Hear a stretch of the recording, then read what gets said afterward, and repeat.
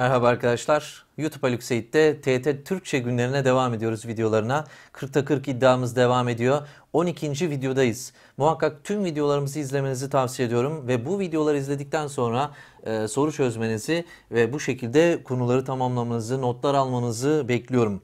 Bu arada muhakkak Instagram adresimi de takip edin. Orada çok değişik etkinlikler var. Sürekli hatırlatma, bir takım e, TYT Türkçe ve AYT Edebiyat notları paylaşıyorum. Eser sanatçı üzerine yoğunlaşıyorum bir takım paylaşımlar mümkün olduğunca çokça yapıyorum. E, bilginiz olsun beni orada da takip etmenizi tavsiye ederim. Şimdi düşünceyi geliştirme yollarından bahsediyoruz. Paragrafın en önemli başlıklarından birisi. Bir önceki videomuzda anlatım biçimlerini ele aldık.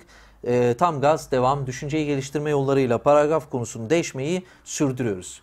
Tanımlama e, bildiğiniz gibi düşünceyi geliştirme yolları anlatım biçimlerine destek için yer alan e, yollardır, e, yöntemlerdir arkadaşlar. Yani paragrafın tamamına değil de sadece bir bölümüne e, hakim olan genellikle unsurlardır. Yani düşünceyi geliş e, bir anlatım biçimi bu bir paragrafsa tamamını kapsıyorsa e, düşünceyi geliştirme yolları paragrafın sadece belli noktalarını kapsıyordur arkadaşlar. Tanımlamada bunlardan birisi okurun zihninde bir kavramı e, ya da olayı daha belirgin hale getirmek amacıyla e, gerçekleştirilen e, tanıtım cümleleridir bunlar, tanımlamalar. Genellikle işte nedir sorusunun cevabı şeklinde karşımıza çıkar. Nokta nokta denir, nokta nokta dır şeklinde bir kalıba sahiptir arkadaşlar. Bu çok önemli. Çünkü bu kalıp bizi doğrudan tanım e, tanımlama ifadesine götürecektir. Bu da işimizi kolaylaştıracaktır arkadaşlar. Genellikle nerede karşımıza çıkar? Açıklama ve tartışma tekniklerinde karşımıza çıkar. Bunu da e, belirtmiş olalım. Şimdi dikkat edelim. E, burada verdiğimiz örnekler içerisinde parantez, ayraç içerisinde nesnel ve öznel gibi kavramlar yer alıyor. Bu da şu anlama geliyor. Tanımlama, e, tanım cümleleri Nesnel de olabilir, öznel de olabilir. İşte sanat, sanat size göre nedir? Sanat bana göre diye başlarsın ve kendi kişisel duygu ve düşüncelerinle bir tanım gerçekleştirirsin. İşte tam olarak da kastettiğimiz bu. O zaman öznel tanımlamaya girecektir ifademiz. İnsan vücudunun en küçük yapı taşına hücre denir. Hücre ile alakalı bilimsel yani nesnel bir tanım yapılmıştır yiğitlik, kahramanlık, savaş temalarını işleyen şiirlere epik şiir denir. Yine aynı şekilde tarafsız bir bakış açısıyla bir tanımlama yapılmıştır arkadaşlar.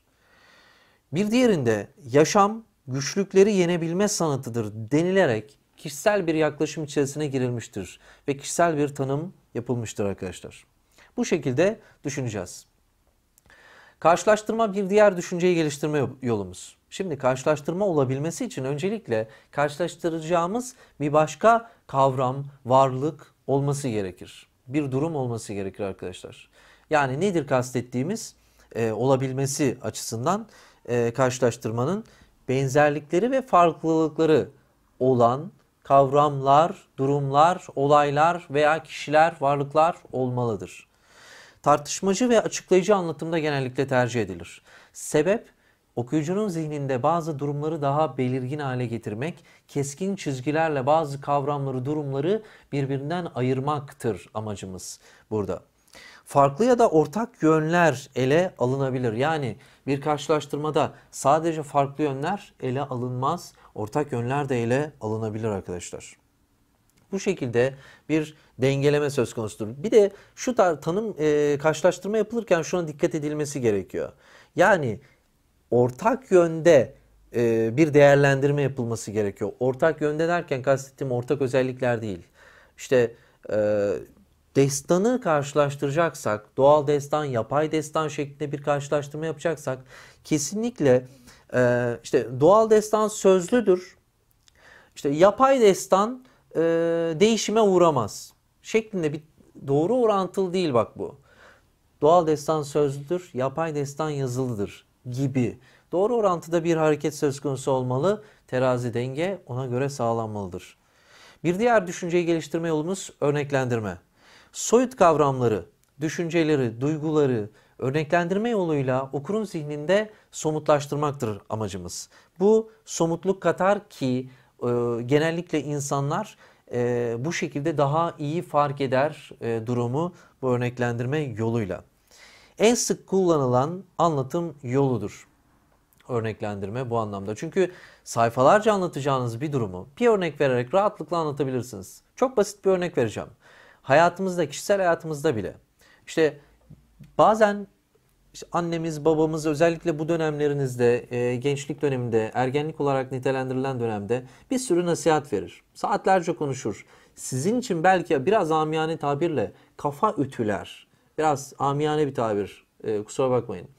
Ama bunun yerine, bunu yapmak yerine anne babalarımız belki bir örnek verse e, ya da siz bir örneğe şahit olsanız, fark etseniz o istenmeyen, sizden istenmeyen durumu zaten kendiliğinden yapmayacaksınız veya hemen kabul edeceksiniz yapmamayı.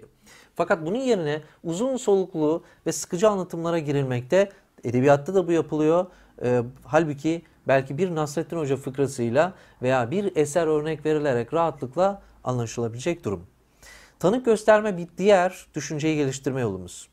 Şimdi genellikle tabii ki burada nedir? Tanık göstermeyi nerede genellikle yaparız? Tartışma tekniğinde karşımızda, karşımızdakini e, yani okuyucuyu ikna etmek için tanık gösterme yoluna başvururuz. Alanında uzman bir kişinin görüşünü, düşüncesini kullanmak, onun sözünü tırnak içerisinde aktarmak olarak ifade edilebilir tanık gösterme. Yani tanık göstermek için iki temel unsur vardır. Bir, bahsedilen, ele alınan konuda uzman olmalıdır tanık gösterecek olan kişi. İki, e, tanık gösterme vardır diyebilmemiz için o kişinin bir sözü tırnak içerisinde aktarılmalıdır. Yani şu yeterli değildir. Aa falan Ahmet Haşim de böyle düşünmüştür. Falanca kişi de böyle bir e, söz söylemiştir. Bunu desteklemiştir. Hayır, bu yeterli değildir. Destekleyen cümleler kurmuştur. Hayır, bu yeterli değil. Kesinlikle ona ait olan bir söz aktarılmalıdır. Tanık gösterme vardır diyebilmemiz için. Bunu da e, ifade edelim. Kişinin sözü destekleyicidir. Özellikle münazaralarda kullanırız. Ee, örneğin tabii ki birçok e, makalede vesaire kullanılır, denemelerde kullanılır ayrı bir mesele. Ama e, münazarayı örnek olarak verelim. Örneklendirme yapmış olalım biz de bir önceki başlığımıza uygun olarak. E, münazarada ne vardır? En güçlü isimlerden sözler aktarılır özellikle. Şimdi Peygamberimiz şöyle söylemiş dediği andan itibaren ya da Kur'an-ı Kerim'de böyle geçiyor dediği andan itibaren örneğin çok güçlü bir düşünceyle savla gelmiş oluyor e, kişi. Ya da o alandaki en uzman kişi olarak kabul edilen kişinin bir sözü beraberinde e, tanık gösterme aracılığıyla karşı tarafı mat etmiş oluyor. Sayısal verilerden yararlanma bir diğer düşünceyi geliştirme yolumuz. Tabii ki hemen dikkat çeken bir e, düşünceyi geliştirme yolu olduğunu söylemekte yarar var. Çünkü paragrafta sayılar, rakamlar bizim dikkatimizi çekecektir. Dolayısıyla uzaktan bile baktığımızda Aa, sayısal verilerden yararlanılmıştır demek mümkündür bu tip paragraflarda. Yazar, yazarın tabii ki amacı yine sayılar aracılığıyla ikna etmektir okuru. Bugün dikkat edin birçok konuşmacı, işte politikacılar da bunu çok yapıyor. İşte şu kadar kilometre yol yaptık. Kilometreyi söylüyor. Yol hani düşündüğünde hani bu bana ne denilebilecek bir durumdur aslında. Bir takım istatistikler işte ekonomik veya gelişimle alakalı e, vesaire vesaire. Tabii bu küsuratlı, virgüllü kısımlar bizi aslında çok da ilgilendirmiyor. İşin içerisinde değiliz. Genel olarak nasıl gidiyor bizi ilgilendirirdir e, bir durumdur. Fakat özellikle sayısal verilerden yararlanılır ki kitle ikna edilebilmek e, edilebilmesi açısından. Bilimsel verilerden yarar, yararlanılır, istatistiklerden yararlanılır. Bu anlamda bazen karşılaştırmalar da yapılabilir. Benzetme bir diğer düşünceyi geliştirme yolumuzdur. Nedir? Bir kavramı ya da varlığı başka bir kavram ya da varlığın özellikleriyle anlatmak. Mesela Boğaz bu akşam o kadar güzel ki adeta bir masal dünyası gibi. Şimdi dikkat edin Boğaz masal dünyasına benzetilmiş. Güzelliği açısından özellikle.